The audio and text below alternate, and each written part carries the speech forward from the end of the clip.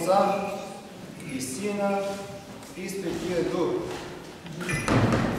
Възлюбени в Господа, отци, брати и сестри,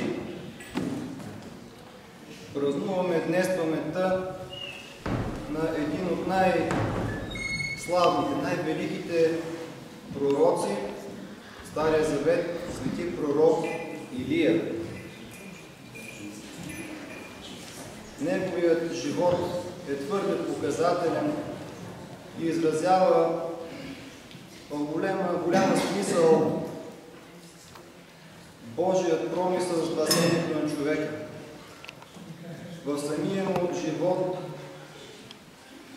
проличават тези неща, които Господ още от началото на творението бе предопределил, бе вложил и дал на човека да изпълнява, като целият свят, който Господ бе създал, бе да служи на човека.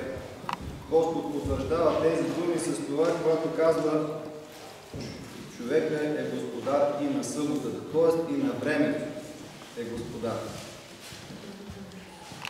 И в началото, когато Бог създаде човеците в рая, всичко благоприятстваше човек. Нашите прародители имаха непоплатим мир, голяма радост изпълваше сърцата им, защото навсякъде виждаха Бога. Навсякъде, където погледнеха, се проявяваше Божията премъдрост, Божието величие, Божията слава. И те живееха, съзрезавайки всичко това, общувайки директно с Бога и голяма радост изпълваше сърцата им. Смут се появи, когато пристъпиха заповедта, която Господ им беше дал. Тогава за първи път усетиха голям страх, смут от Бога, какво ще направи сега? Той вече се страхуваха от любящ баща. Вече Господ стана за тях като чужд. Те станаха чужди на Бога и затова възприемаха по този начин Бога. И когато не се умяха да се покаят, Господ каза, проклета да е земята поради греха ти. Тръни и години ще ти ражда, с пот на челото си ще обработваш, ще ти ражда тръни и води. И това, разбира се, Бог помисли, за да може чрез труда човек да намери път към покаяние, отново път към Бога. И в Стария Завет Господ даде наредби, като каза на израелтяните, ако пазите всички тези заповеди, земята, която влизате, мед и мляко ще ви ражда. Ще има изобилие, ще сеете и това, което приберете като реколта, ще го изхвърляте, казва другата година, защото ще дойде новата реколта. Ще бъде такова изобилие. Обаче им каза, ако не послушате, казва, небето ще го направя за вас като медно. Земята ще стане порава, ще обработвате, нищо няма да ви ражда. С което виждаме, братя и сестри, че има голяма взаимовръзка с това. Каква е, какви са взаимоотношенията между човека и Бога, между човеците и взаимовръзка с това какви са природните условия. Има ли благоприятно слънце, има ли благоприятни дъждове, има ли плодородие или пък се случват бедствия, се случват наводнения, пожари, които опустошават човешкия труд и правят живота на човека сложен. Именно в едно такова време е живял свети пророк Илия и в неговия живот се проявява именно тази взаимовръзка. По това време юдейското царство, юдейския народ е бил разделен в две царства, юдейско и израилско царство. И в израилското царство, където са били десете колена Израилеви, царете искали да отклонят народа от това да отива в Иерусалим, там да се покланя на Бога, както Господ е заповядал.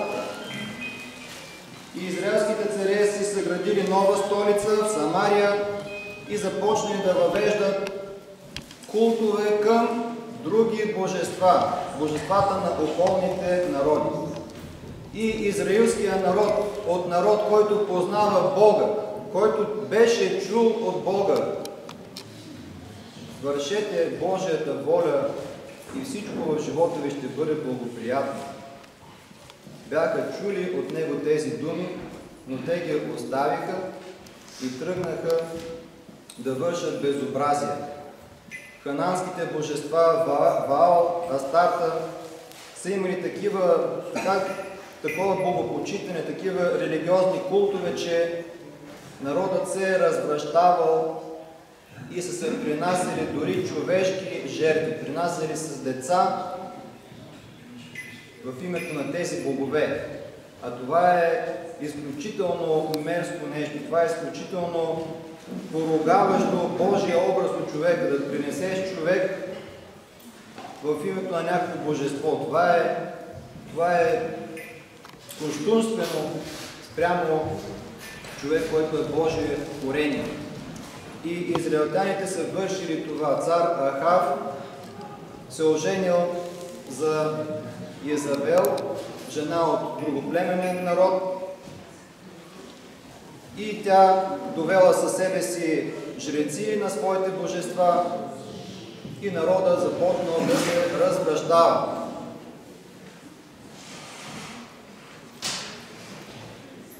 Свети пророк Илия, който от ранната му възраст неговият баща имал едно такова видение, как светли ангели повиват детето в огън и го хранят с огън. И бащата, смутен от този сън, отишъл при свещениците и попитал какво ще да рече това. Те му казали, не бой се, Господ му е дарувал още от младини своята благодат, Негото Слово ще бъде като огън и той ще служи с сила, дразновение пред Бога. И действително, свети пророк Илия изобличил цар Ахав за нечестието, което вършили народа, увлечен по царското безумие и му казва така от сега няма да има дъжд от небето, нито роса на земята, освен по моя дума. Ето, брати и сестри, и се заредили дни на суша, месеци, години на суша, три години и половина от небето не капвала нито капчица дъжд. Изсъхнали посеви, разорили са реколти, страдали и човеците, страдал и добитъка от този изключителен глад, от това бедствие. И вижте сега, Господ казал на пророк Илия, иди при потока Хорат, там съм заповядал на враните да те хранят. Помислете, брати и сестри, при този голям смут, при това голямо бедствие, което настанало, хората се чудили как ще се прехраним, какво ще направим. Гладували. Но Божият човек, който не се отделял от Бога, служайки Му с пост, с молитва, с богогоден живот. Ето Господ как помислил и при цялото бедствие, което живял народа, свети пророк Илия имал в доволство. Кой го хранил? Господ заповядал на враните. Врани му носили месо, сутрин и вечер. Пил от водата, от, от потока вода и така се хранил. Вижте какво значение има, когато човек е с Бога и когато човек остави Божите пътища, живее по свое осмотрение. Защото Господ никога няма да изостави оне човек, който му се бои, който го търси. И в най-големите трудности, в най-големите бедствия, Господ ще протегне ръката си, ще направи каквото е необходимо, за да защити, за да предпази своите раби и по този начин да преодолеят каквито и да са трудности.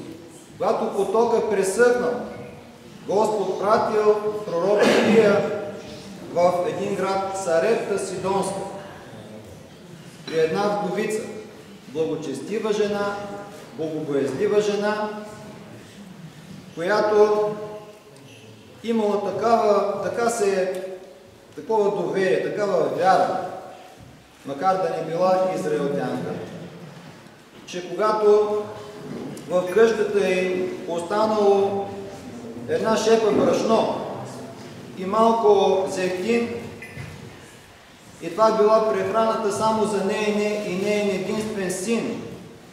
И след тази храна вече не се надявали на нищо и очаквали своята смърт. Но когато пророк Илия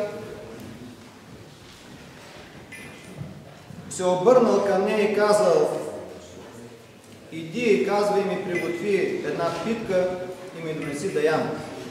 И тя му изплакала болката си. Идам казва само толкова брашно, колко ще мес една питка за мен, за сина ми, с тия дръца, сега, които събирам, ще ги изпечем, ще се нахраним и свършва храната ни. Очаква ни гладна смърт. Той каза, иди най-напред и направи това, което ти каза, защото така казва Господ. Брашното в делвата няма да се свърши и дървеното масло, зехтина, в съсъда няма да се свърши, докато не премине това бедствие. Жената се доверила на тези думи, отишла, приготвила с последната си прехрана храна за свети пророк Илия, умесила му, изпекла, донесла му да яде и действително в дома й брашното не престанало и дървеното масло сектина не престанал, а Господ умножавал това, докато премине цялото това бедствие. Виждате ли, брати и сестри, доверието, вярата в Бога, какво прави? И така свети пророк Илия преживял през тези трудни дни там, където Господ го пратил, където Господ промислил. Случило се така, че синът, единственият син на тази жена починал. И тя силно огорчена от това, силно съкрушена. Казала, за какво си дошъл при мене, казва, да ми напомни за моите грехове. А свети пророк и той дълбоко опечелен от това, което станало, взел момчето, окачил го в горницата, в стаята горе и се помолил Бога и казал, Господи, нима ще направиш това зло на тази жена, която тъй се грижи. Тъй прие такова гостоприемство оказа. Помолил се на Бога и се върнал духът в това момче и момчето оживяло. По преданието, законното предание, това момче е пророк Иона, който Господ по-късно пратил в Ниневия да проповядва покаяние на този народ. И когато вече е минало достатъчно дълго време, когато народът вече не виждал за себе си надежда да оцелее.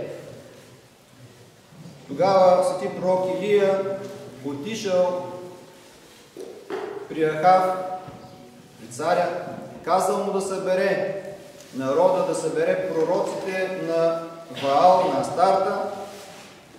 Им казал така, на целият народ казал, нека, казва, принесат жертва. Те ще принесат жертва на техния Бог и аз ще принеса жертва на моя Бог. И който Бог приеме, казва тази жертва, прати огън и приеме тази жертва, той е истинският Бог.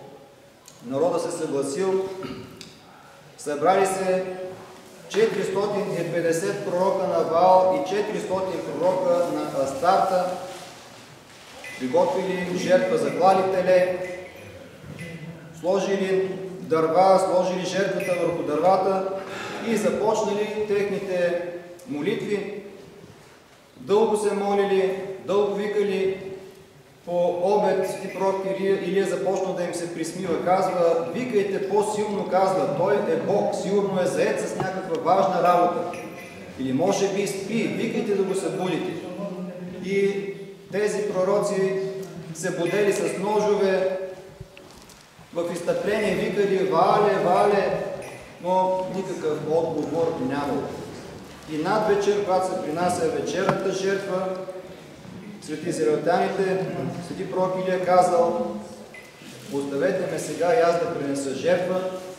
И той заклал телето, поставил го върху, заградил най-напред жертвеник, взел 12 камъка по числото на Израилевите колена, сложил дърва върху тях, сложил жертвата и казал да направят един окоп около този жертвеник заповядал да излеят вода, излели вода върху жертвени. Казал още, други четири ведра, още четири ведра сложили вода. Още казал, потретете, трети пъти сипали вода, така че целият, цялата жертва, жертвеник и целият окоп се напълнили с вода.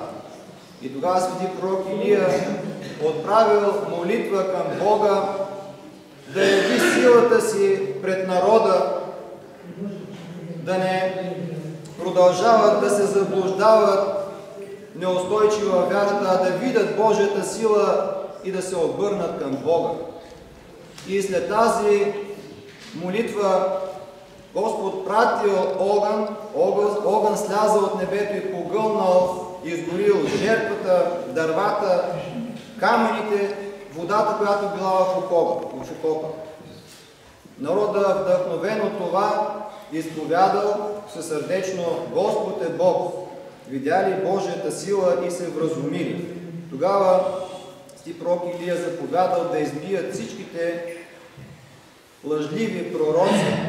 Такава, такова е било времето в Стария Завет, такива са били наредбите, за да може да оцелее, да може да се запази вярата, малко по-груби са били нравите и такава е била съдбата на тези лъжливи богове, след което свети пророк Илия се помолил и Господ пратил дъжд, напоил земята и отново споходил с милост своя народ и прекратил това негодование.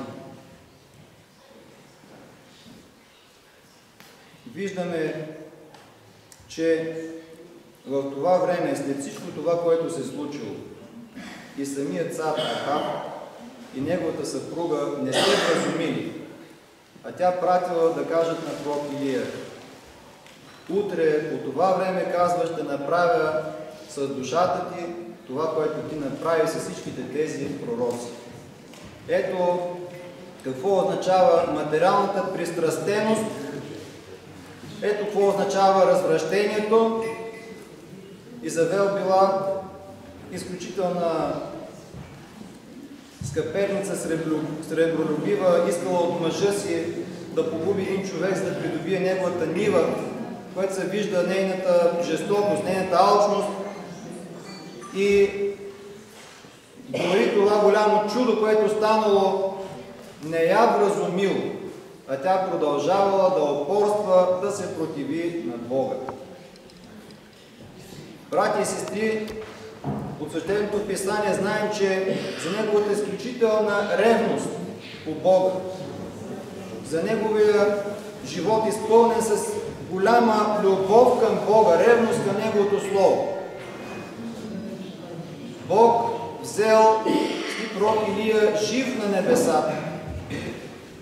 Свети пророк Елисей, когато Господ казал на Свети пророк Илия да помаже за пророк в Израиля между себе си, видял как Господ взема неговия господар, неговия учител, явила се колесница с четири огнени коне, огнена колесница, взела, Свети пророк Илия бил взет в тази колесница и Господ го възнесъл на небесата. От тази колесница вече Свети пророк Илия хвърлил кожуха си върху Свети пророк Елисей и с това му предал, както пророк Елисей се беше помолил, благодата, казва, духът, който е на тебе, да бъде двойно върху мене. И Божията благодат, действително голяма сила, се проявявала и в живота на свети пророк Елисей.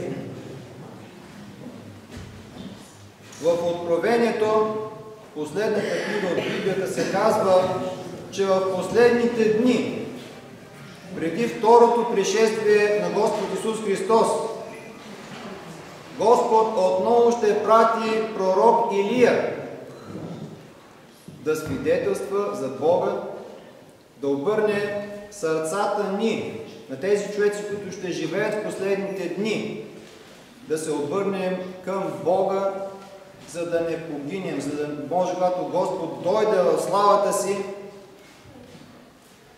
да не бъдем като Иезавел, която до такава степен била заслепена от материална пристрастеност, привързаност към материалните неща, а да се вразумим и да познаем Бога, да, да, да живеем с Неговите заповеди, да го търсим в своя живот. Защото, брати и сестри, в днешно време се проявяват тези признаци, за които Господ говори, които ще предшестват Неговото второ пришествие. Един от тях е това, че вярата и любовта у народа ще охладнее. На път за храма сутринта пред кръчмата имаше едно 50 на човека. Може би и сега там са повече хора, отколкото сме тук. Което ще рече, че вярата действително охладнява на човеци. Няма я благодата, няма я радостта. Радостта в сърцата е повече от материалните придобивки, макар в днешното скъдно време бедността също да е голяма сред хората, но повече се разчита на материалното. И не се търси духовната подкрепа, не се търси духовната радост. А ето свети пророк с Илия, каква е била връзката между него и Бога? Огнена връзка. Благодата Божия е горяла в неговото сърце. А що е горяла? Щото е имал вярата. Щото е имал ревността да постъпва така, както Господ е казал. А тази връзка, братя и сестри, се нарушава в оня момент, когато по време на служба, когато има молитва, нашето внимание е някъде другаде, някъде в храма се говори, шуми се, правят се други неща и не се внимава в богослужението. Тази връзка вече е нарушена. Очите, духовните очи не виждат, не търсят благодата, не внимават в молитвата И тогава как да се сгрее сърцето? Как Божията благодат да посети сърцето? Не може това да стане, защото Бог ни е дал свобода, свободна воля. И Неговата благодат се проявява тогава, когато ние с нашата свобода говорим свободно, когато приемем, когато се слушаме, когато пазим Неговото Слово и го изпълняваме, тогава и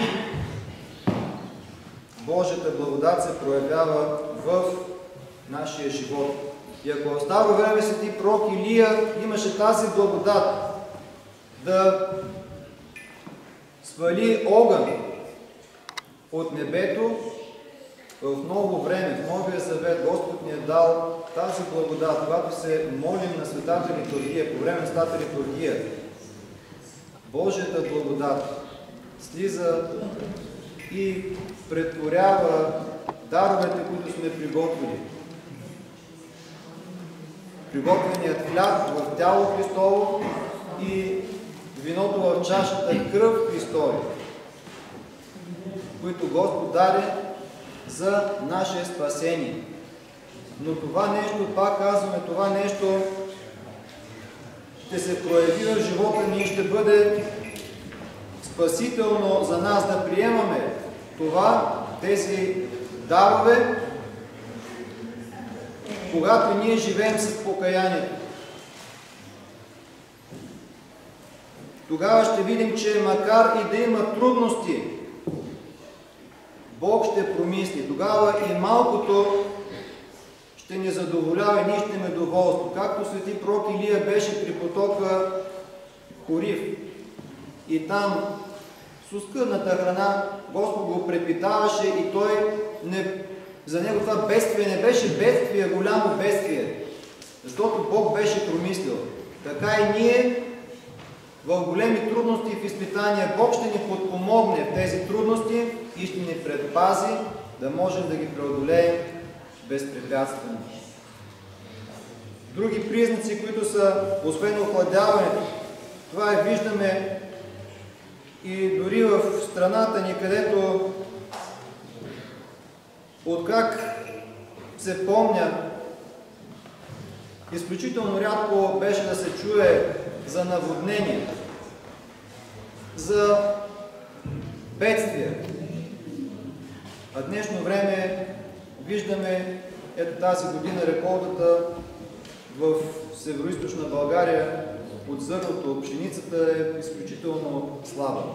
Наводнение във Варна, в София, в бури, порои. И в световен план също тъй бедствията, които се случват до голяма степен това е поради развръщаването на човеците, поради това, че връзката между човеците и Бога отново силно е нарушена.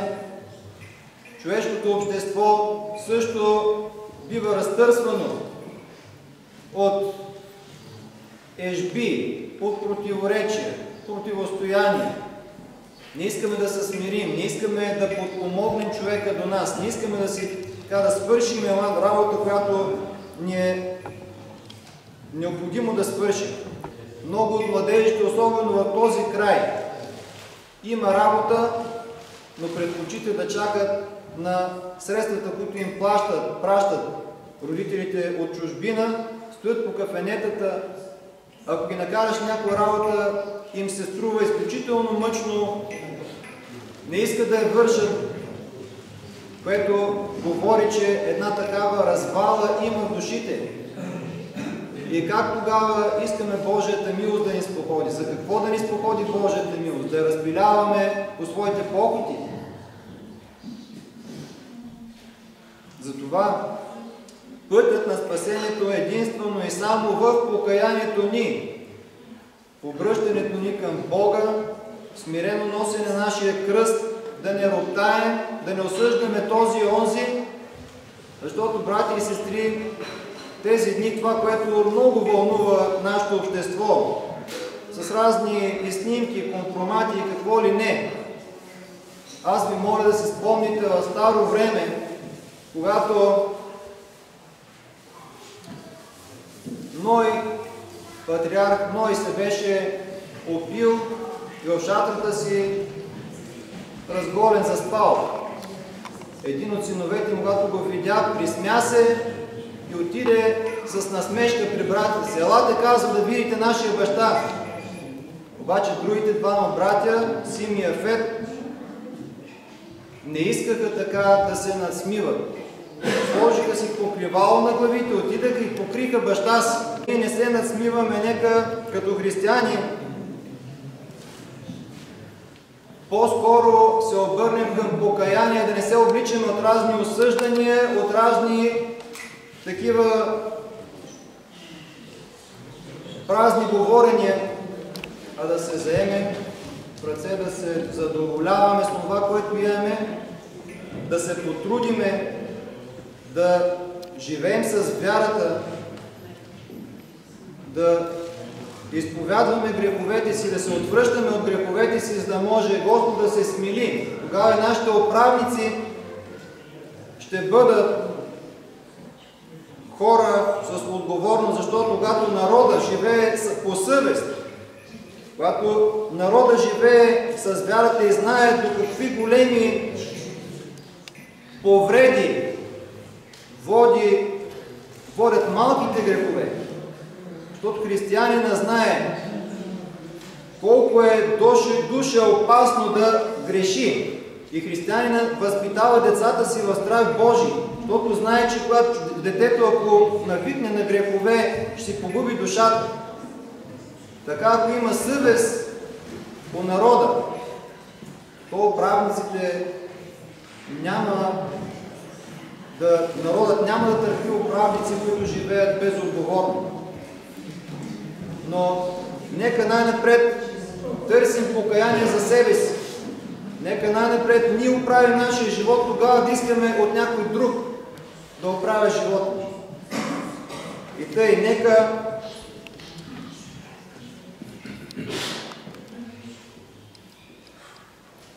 се просвещаваме и извличаме полука от миналото. Нека извличаме полука от живота, житието на свети пророк Илия, да можем действително в трудностите да имаме Божията подкрепа у нас и с нас, да очакваме, че ще дойде, Господ Исус Христос ще дойде в царството си, в слава, в Неговото второ пришествие и Царството Божие ще се възцари, но ние да се подготвяме Царството Божие да се възцарява в нашите сърца. Там да не е унинието, там да не е маловерието, там да не е робота, там да не са греховете, там да не е материалната превързаност, а в сърцето да е молитва към Бога, любов към Бога, грижа за тези, които са до нас, добротворство, за да може действително да имаме радост сърцата. Царството Божие, защото Евангелие пише, Царството Божие е радост в Духа Света. Тази радост да изпълва нашите сърца. Честит празник! Бях пророк, нуждаше се. Илия, Ярясе и словеса немилостивна, милостиво му подвиже, прогневай се, възопив, не отмен, от между се, тебе студия прави, но от кого благодарни